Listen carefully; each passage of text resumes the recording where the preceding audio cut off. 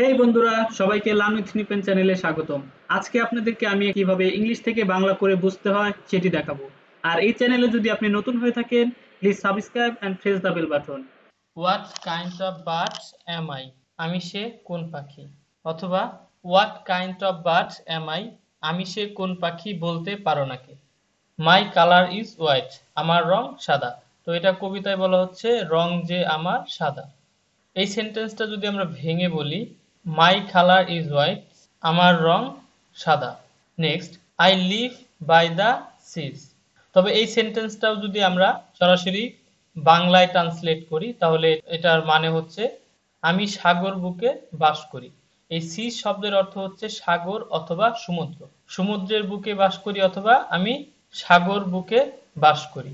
Next I swim in the ocean whenever I please ইচ্ছে হলেই সাঁতার কাটি মনের সুখে। তাহলে এটা যদি আমরা ভেঙে বলি I swim in the ocean আমি সমুদ্রে সাঁতার কাটি হোয়েনিভার আই প্লিজ যখনই আমার ইচ্ছে হয়। ইচ্ছে হলেই সাঁতার কাটি মনের সুখে। Next can you tell me সা অ ম্যাম স্যার অথবা ম্যাম তোমরা কি আমাকে বলতে পারো what kind of birds am I আমি কি ধরনের পাখি? তো এটাই কবিতায় বলা হচ্ছে আমি সে কোন পাখি বলতে পারো নাকি?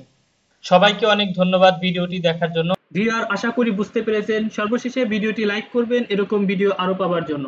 Thanks for watching stay happy stay cool